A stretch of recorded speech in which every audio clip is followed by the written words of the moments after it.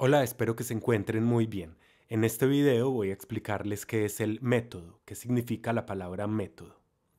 El término método se refiere a un conjunto de procedimientos y técnicas que se utilizan para lograr un objetivo específico. Esto puede ser en el ámbito científico, en el ámbito educativo, empresarial o en el ámbito personal. El método implica una serie de pasos ordenados y sistemáticos que se siguen para llegar a una conclusión o a un resultado deseado.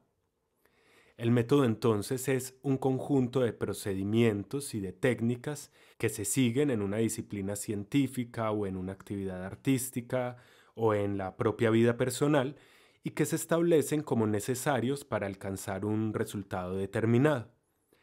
Podemos definir al método también como el procedimiento o conjunto de procedimientos que se sigue en una investigación científica o en una exposición o en una demostración, para entonces así descubrir la verdad o alcanzar un resultado determinado.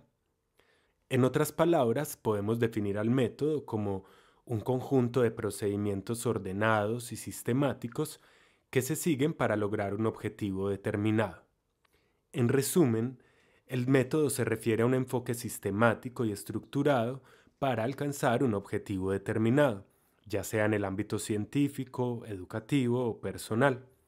Implica seguir una serie de pasos organizados y técnicas específicas para lograr el resultado deseado. El método es utilizado entonces en diferentes disciplinas con el fin de lograr resultados concretos y medibles.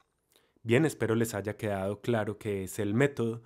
Recuerden suscribirse, activar la campana y darle clic en me gusta si les fue útil este video. Chao, chao. Hasta la próxima.